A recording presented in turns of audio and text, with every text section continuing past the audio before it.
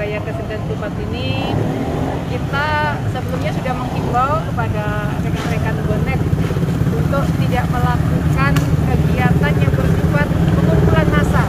Ya.